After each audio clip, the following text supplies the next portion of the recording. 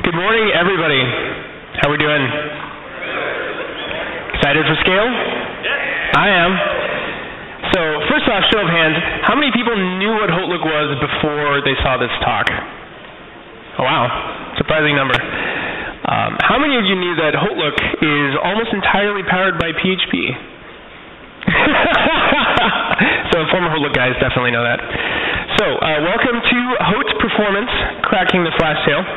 I am Joel Salas. I am lead platform engineer at HauteLook, and what that means is that I lead the group that does all kinds of stuff, everything that you'd call traditional ops, all the way through to writing actual bits and pieces of software to make the developers' lives better. We do everything. So first off, uh, what is the flash sale? Um, I would show of hands, who knows what a flash sale is in theory? If you've ever used Woot, if you've used HauteLook, Rulala, Gilt, there's lots of shops out there. Basically, the idea of the flash sale is brands, companies will sell us things that they want us to sell on our website at a significant discount, and we will run what we call a sale event, and those usually happen at 8 a.m. and 1 p.m., sometimes 4 p.m. And what that means from a technical standpoint is that we're going to have a uh, stampeding horde of members storming our site at uh, very in a very very narrow time window. We could have up to um, 100, 120,000 users on the site concurrently. And this will all happen in the space of about one to two minutes. So it's a lot of traffic very fast, and there's not a lot of technology stacks that can stand up to this. So um, 10 plus seconds is how long it took to load the homepage on HauteLook.com when I started there in 2013. So that's 10 Mississippis just to see uh, if the thing you want is even in stock, and add another 10 seconds to get the product, and another handful of seconds to get to the cart, and just keep adding them up, and you're well into a minute before you can even check out, and that's just wall clock time on the server. So the outcome, of course, is that we were having barbecues in the data center, right? All of our servers are basically on fire. They're screaming for help. They're like, why are you making us do this, right? What's going on? Please fix your shit. So uh, unfortunately, that's a negative member experience. That means you're trying to shop. You want that Kate Spade bag. I know all of you love Kate Spade bags and you want to shop them. So you want that bag. You want that specific bag. You want it in pink. And you're shopping. You're trying to get to the website. It's holding you up. You try to buy it, and now it's sold out. And you're wondering, was I too slow, or was the site too slow? That's a poor experience and uh, they definitely let us know in the uh, app feedback and on on our uh, member care uh, websites and the whole nine yards. So also you have stakeholders that are extremely unhappy. You have someone in marketing who's been working two months to get Diane von Furstenberg back on our site after the last time it fucked up. And all of a sudden, here we are, site crashes on the day of, and uh, there's not a lot of confidence in the tech org at that point. And finally, this is pretty bad for the engineers that are supposed to be running this thing. You're doing your best. You're trying to do a good job. You take pride in your work, and you know, regardless of what you do, the site is still slow. So, what about today? Um, I have a nice graphic for you. I will tell you uh, as much as I can about it. Uh, this is a screenshot from New Relic, and this is actually a, a Symfony framework app. And our average web transaction time is hovering around 200 milliseconds. And that's a significant drop from 10 plus seconds per API call. Um, and uh, the average throughput before the sale event is around 8,000 requests per minute. During the flash sale event, it will go up to about 30, 32, 34. So we're talking a, a quadruple um, in uh, throughput in within a matter of about one to two minutes. And remember, this is all Symfony. This is all PHP. So the obvious question here um, is, how did we do it? How did we get to these flash sale numbers? 100,000 origin hits per minute uh, 2.3 million um, Nginx log events per hour, orders up to 250 orders per minute. So if I do some very complicated arithmetic, that's almost four orders per second, uh, just about. And uh, the, the short answer is that there's a lot of low-hanging fruit, lots and lots of low-hanging fruit. And um, I'd love to sit here and tell you the saga of all of the things we did and tried and all the trials and tribulations, dark days, but really that's not as useful as uh, what I think uh, you guys want to know which is what were the practices? What were the learnings? What do we do now that we didn't do then? To harken back to um, you know our first DevOps talk today. What are we doing nowadays? And so um, I brainstormed with the team, gathered up as much information I could about what we do and why. And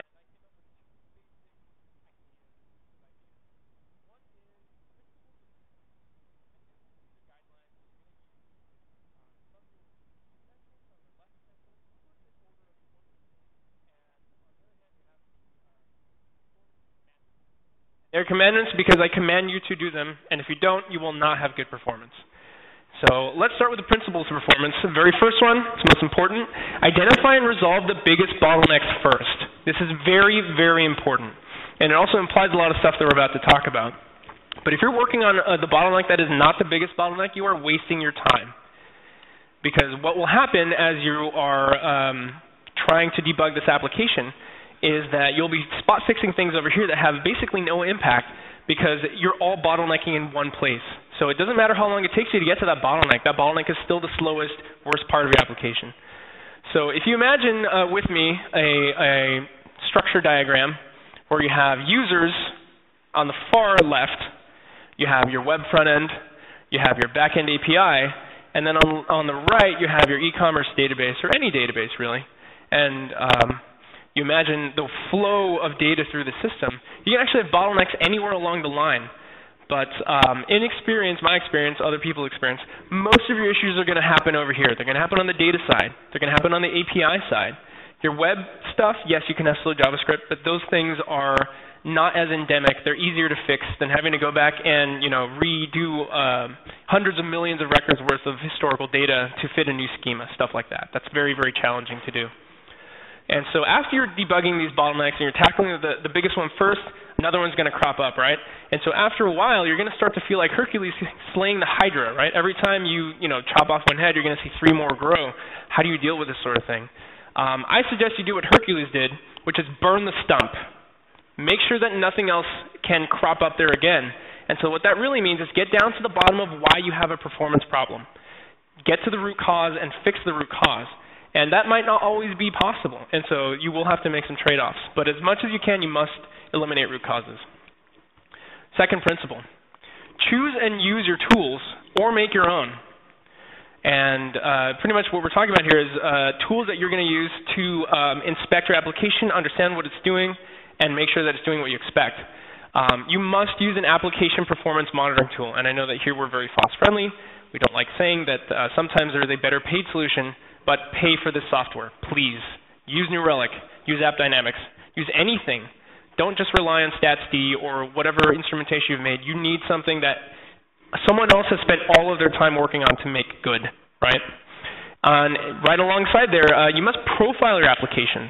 So what the what the APM will do for you is help you identify where there might be an issue with your code, and what the profiler will do is help you drill into that performance problem and understand why it's there, and potentially get a fix. And so once you have um, found an issue, you've debugged it, you think you fixed it, make your servers cry with load tests. Absolutely be confident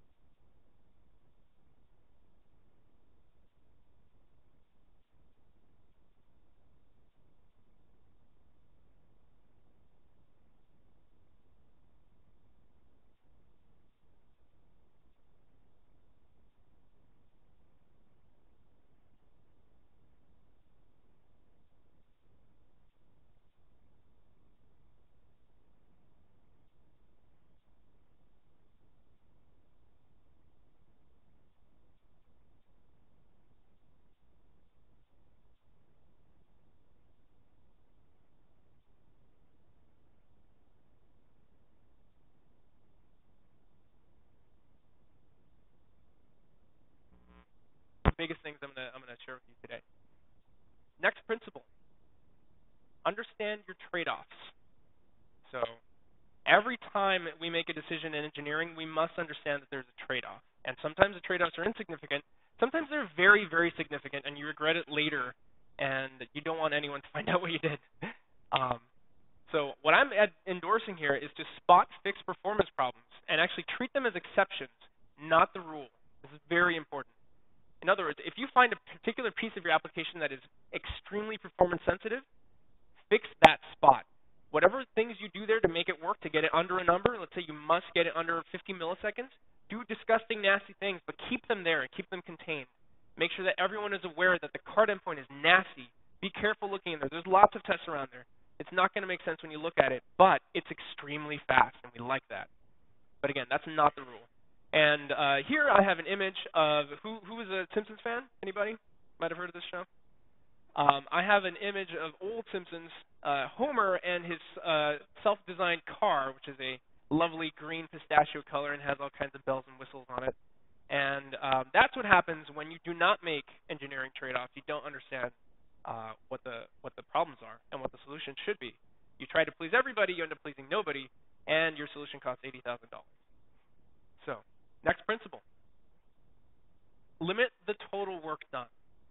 In other words, when you do work, do it as rarely as you can. Do not do it over again. In other words, you're going to want to reuse computation whenever possible. So cache everything. Cache SQL queries, cache JSON blobs, cache documents, cache entire HTML results. Cache everything. Throw things into Memcache and set a, a sensible uh, lifespan for them. Reuse things everywhere you can. And this is gonna, not going to be informed by technical constraints. This is going to be informed by your application. So you must know what is safe to cache and when, and when to show someone a stale result versus a um, versus a fresh one. Uh, and along those lines, use a caching proxy. Everyone in here should be using a caching proxy. Who is not using a caching proxy? I see some hands. Um, we use Varnish. Varnish is the single greatest thing that saved our website. Thank you, Travis Hansen. And um, the reason is that we were spending lots of CPU time redoing expensive calls um, on HauteLook.com for a given events call. It might take six or seven seconds and about 300 queries to traverse the taxonomy and generate this giant JSON blob. And we only need to regenerate it when events change, which, as we said, is 8 a.m., 1 p.m., and sometimes 4 p.m. And so, do you think our database knows when that's going to expire? Yes. Do you think our API can set a caching header for Varnish to know when to expire it? Double yes. So, if you include Varnish as part of your development lifecycle, and if you include this concept of caching everything you can, you're actually going to end up with a significantly reduced need for capacity because Varnish will be doing most of the heavy lifting. And uh, finally, use a content delivery network. Um, Edgecast, Akamai, whatever you choose to use, this is significantly important because you will not be reusing, uh, sorry, you will not be re recalculating all of the work that we've done. For the same reasons that you want to use Varnish, use a CDN, and it will actually make your members' experience better due to geolocation of caches and other nice features that they give you for the arm and a leg that they're going to charge you, and virgin blood and first port, and so on. Uh, next principle. This is pretty big, and it ties into to the previous concept. Choose technologies that are designed to scale. Not everything is designed to scale. Some things, like we said, are a trade-off. They're easy to write software in, but they're not designed for scale. Conversely, some things are very challenging to write in, and they scale very nicely. So in this case, I'm endorsing the use of things that might be trickier but are designed for scale. And I know that a lot of developers don't like to think in terms of Varnish when they're writing their APIs, but Varnish is designed for scale. It actually prevents a stampeding herd problem, which I'm not sure if everybody knows about. But if you have a thousand clients or n number of clients connecting to your Varnish server and they're requesting one resource, which usually is a URL, then Varnish will consolidate those make them wait, and fire off one backend call to your API server. It will take that result and send it back to those thousand clients, and they're none the wiser. So you just got a thousand times more servers for free, and it's going to cache it for you. So you might not actually revisit that server for 5, 10, 15, 20 minutes. And this is probably the most controversial part. I've been talking about PHP for, for now, but you might want to rewrite expensive pieces of your app with appropriate technologies. And so in that case, for us, that meant that our search implementation, which is written in PHP, it's using Doctrine, it's using Symfony, was very, very slow. And fortunately, it's a fairly isolated endpoint, doesn't impact a lot of other things. So we actually rewrote the entire thing in Scala, and it is significantly faster. It is significantly more scalable, and we use significantly less servers. I'm not sure how many more times I can say significantly, but it is important. So those are the principles of performance. And again, these are things that you want to pepper into your designs um, in stack rank, of course. And where um, where it gets a little less negotiable are the three performance commandments. And again, these are things that you must do regardless of how you choose to tackle your performance problem, regardless of what it is. The first performance commandment, know thy system. And so what do I mean when I say know thy system? It means that your app is running on something. What is it? Whether it's Windows, whether it's Linux, FreeBSD, doesn't matter. Know it well, know it inside and out. Have an expert on staff that can help you debug these problems. Because if you're building on a shaky foundation, you're not going to get anywhere with it. Second commandment know thy runtime. Know it exceptionally well, whether it's PHP, Java, Ruby, Python, doesn't matter. Understand what the limitations are and understand what you can do about those limitations. Know what your frameworks are good at. Know what they're actually really bad at. And these are things that where you have to you cannot have any um, strong opinions uh, strongly held. They must be strong opinions weakly held because you will be challenging your assumptions regularly. Third commandment: know your application. This is something that no one else can do for you. So when I say know the application, that means understand who is using it, understand what their behavior patterns are, understand what that means for your application. Are carts more expensive than looking at events? Are product pages particularly challenging because there's so many of them? You need to know how they're being used before you can possibly uh, debug and uh, appropriately act on a performance problem. So, first commandment, know your system. In our case, we're using Linux. We're using CentOS Linux 6 and 7, and we're very happy with it. Um, this is a little controversial. I know that we're talking about performance, not talking about manageability. Again, we're talking about trade-offs. Choose bare metal wherever possible. This is really, really important. I know that rubs some people the wrong way. Don't use containers. Don't use virtual machines. Use bare metal. This is the absolute fastest way to run your software. You don't want anything between your runtime and the metal. And again, this is when you're tuning for performance. This is when you have Black Friday coming up. You have no other options.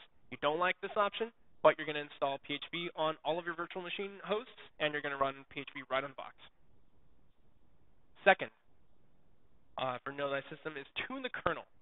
The kernel by default is very conservative and gentle with your hardware. It thinks your hardware is brittle. We know better. Get aggressive with the kernel, uh, kernel tuning, and you will be much, much happier with it. And um, I'd like to take a break here to give you a short story. When I started at HauteLook, we had a big, big problem with connecting to our MySQL database. We got lots of PHP errors to the tune of MySQL servers gone away, you know, connections dropped, stuff like that. And necessarily, all of our investigation goes right to the right to the server boxes. We're tuning, we're changing parameters in the kernel. We're trying to figure out why this thing is dropping connections like crazy, right? Um, turns out the caller was in the house the entire time. The problem was never on the servers. It was actually on the clients. So when PHP is connecting to MySQL and given a default kernel, it will actually use up all of the ephemeral ports it has available. And when PHP tries to make a new connection to run another SQL query, it's actually going to get a timeout. And that's where you get the MySQL's gone away error. And I'd like to thank Travis Hanson back there for that. He spent three months of his time figuring out what the hell was going on there. And so what we actually ended up doing was using uh, a kernel flag called TCP uh, TW reuse. Set that to one. That means it will reuse existing connections. It will not create new ephemeral ports. All of a sudden, problem solved, and the website's so much faster. Funny, funny how that works. So um, that's just one value. Uh, if you want to tackle all these values all at once, you're going to want to use a tool called TuneD for sensible defaults. It will give you a profile that you can um, apply, and it's got a number of them like virtual guest, virtual host. You're going to want latency performance, and that's very, very important. The, the, the, the latency is what you want. You don't care about throughput or other issues. Um, so I'm going to skip some stuff here. Let's go to uh, knowing your runtime. In our case, it's PHP. I've had people come up and tell me I didn't think PHP could be fast. You are right, it can't. PHP is very, very slow because it does a lot of stuff. Um, but first thing you're going to want to do to make PHP faster is use recent versions. Uh, in some cases, you'll see some workloads. You'll see that it's going to be actually twice as fast. So if you're on a legacy version of PHP, this is the absolute first thing you want to do. Get that PHP upgraded. Even 5.5 to 5.6 is going to be good. 7 should blow us away. So we'll see. We shall see. Um, Second about knowing your runtime is frameworks are inherently slow. They speed development, but they hog resources. And uh, particularly here, we're, we're talking about Doctrine. And so Doctrine for the uninitiated is an ORM that is commonly used for um, for PHP installs. It is actually the single biggest thing that uses CPU anywhere in our environment. Um, so uh, further along those lines, PHP eats CPU. Eats it. You heard it here first. It eats lots of it. So what you're going to want to do when you're performance sizing with PHP is think in terms of concurrency, not in terms of throughput. Sorry. Think in terms of concurrency, not in terms of throughput. So throughput is a post facto measure of what your server did. Concurrency is what it is doing at any given time. So I'm going to give you the ultimate performance tuning formula for PHP. You're going to take the number of physical CPUs on your host. You're going to divide by the average response time in seconds. And what that's going to equal is the total number of PHP workers you can run on that box at any given time. And what that means is that for every single request that comes in and wants some CPU time, it will get CPU time. It will not wait. Because if you have a ton of requests coming in, they will immediately start to snowball, and you will actually end up stealing CPU from each other. And this is not even in a virtualized environment. This is actually in a, a physical host. You will actually have the PHP threads steal CPU from each other. So if you do all this math, you're like, wow, that doesn't seem like a lot. I know I'm going to have more than that many users on the site. Uh, buy more servers. There's no other option. You need more hardware than you have. That is how you perform. That is how you capacity plan. So finally here, knowing your application. And I alluded to this earlier, but um, you want to focus on the parts that make you money. The parts that make you money are the most important parts. So if you have a performance problem with the happy path in your application, focus on that first. The critical path must be fast. And um, I'm going to close here with a, I think, the best, finest example of product-focused engineering that, that uh, uh, we've had at HauteLook. Um, as part of knowing your application, take cues from user behavior. Um, I have for you a tale of too many carts. And so I've mentioned carts a couple times because they are very expensive for us. Stockman is doing a lot. And uh, we realized that carts were actually uh, the lion's share of our CPU time. About 40% was just spent at looking at carts, empty carts. And so the engineers like digging into the code, trying to figure out what's going on with PHP. And our VP, who is actually not here today, um, says, all right, hold up, fellas, step back, step back, step back. What do we know about the members? What do we know about how they use the cart? And turns out we didn't know anything about how they use the cart. As it turns out, what they uh, what the, the numbers look like is for you know 100% of the members that visit the site, only 5% have ever added to cart in their entire HauteLook career. And of those, only 10% have ever added to cart again. So what we decided to do is send back a cookie that says, do not look at my cart. And that is on the web client and on the mobile client. And every time you add to cart, we clear the cookie. So what does that mean? It means that we've reduced, we've essentially gotten 20-fold performance for free because we're not doing as many carts. The people that are shopping and never adding to cart, the window shoppers, they have a faster, more positive experience because they're not waiting on an empty cart call that doesn't do them any good. And the people that are adding to cart actually have a faster time adding to cart, shopping, and getting through because they're not competing with the people that are just window shoppers. And so with that, we actually were able to drop our average response times about 30 or 40 percent, which is significant after you bundle in all of the other stuff that we've already done. So um, that's it for me. Um, I'd like to open it up to any questions you have. Uh, I would have a slide up here for you, but uh, you can reach me at uh, Joel E. Salas. That's on Twitter. That's on Gmail. That's on GitHub. Um, so any questions? Yes.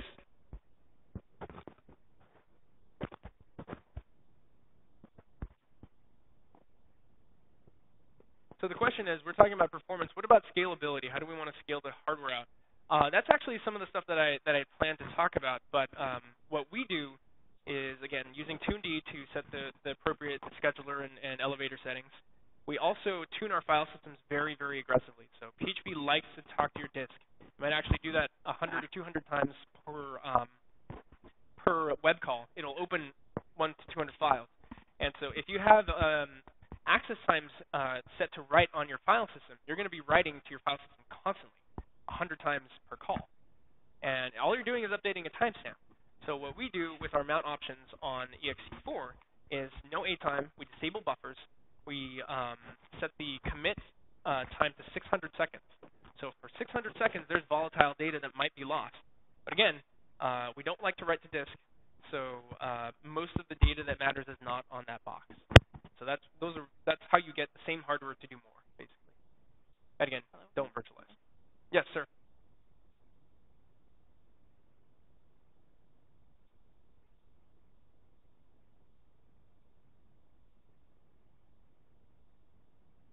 So the question was, uh, when we re-implemented our search in Scala, um, did we consider any of the uh, existing options?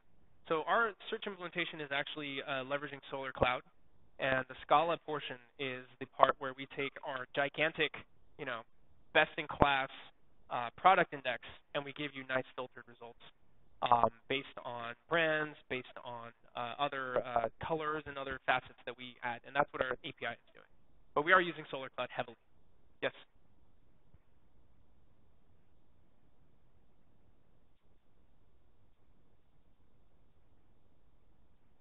So the question was, who in the organization actually uh, initiated the idea of tackling performance? And um, I'd like to say that that it was the engineering group, but really it came from the product uh, team and it came from um, the, the leadership and the members, they said we need this to do better, and uh, we decided to tackle that as a problem. But like I said, intrinsically, we as engineers want to design things that are fast,